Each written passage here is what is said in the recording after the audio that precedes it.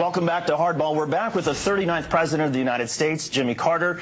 His new book is called Palestine, Peace, Not Apartheid. And President Carter, why did you use the word apartheid in the book's title? Well, let's look at the entire title, if you don't mind. The first word is Palestine, which involves the land that belongs to the Palestinians, not the Israelis. I didn't refer to Israel because there's no semblance of anything relating to apartheid within the nation of Israel. And I also emphasize the word not, uh, that is peace and not apartheid. That's what I hope to accomplish with this book, is some move toward that goal. But there's no doubt that within the occupied territories, Palestinian land, that there is a horrendous example of apartheid.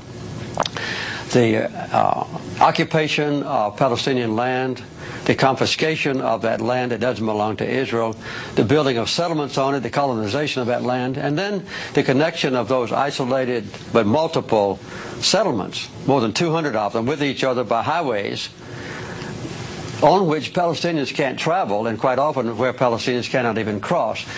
so the persecution of the Palestinians now under the occupying territories is under the occupation forces is one of the worst examples of human rights deprivation that I know. And uh, I think even, it's even worse though than a place like Rwanda.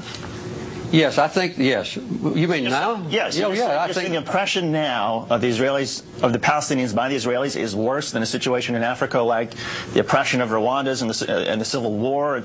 I'm not going back into ancient history about Rwanda, but right now, the the persecution of the Palestinians is one of the worst examples of human rights abuse I know because the Palestinians. You're talking about right now. You're not talking about say. I'm not talking about ancient years history. Ago. No. Well, Rwanda wasn't ancient history. It was just a few years ago. You, you can talk about Rwanda if you want to. I want to talk about okay. Palestine.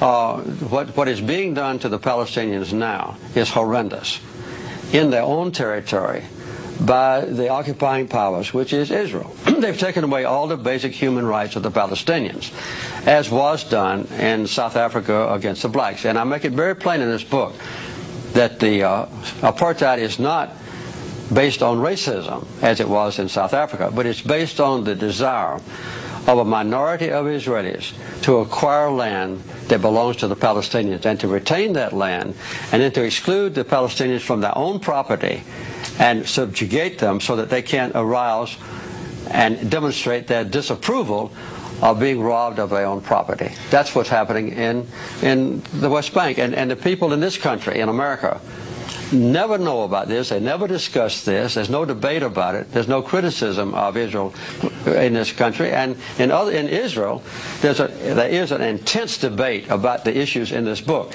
In I this will, country, no. I agree. I mean, I wish we had that sort of debate that they're having in Israel. I wish we had that in the United States. But give us a sort of sense.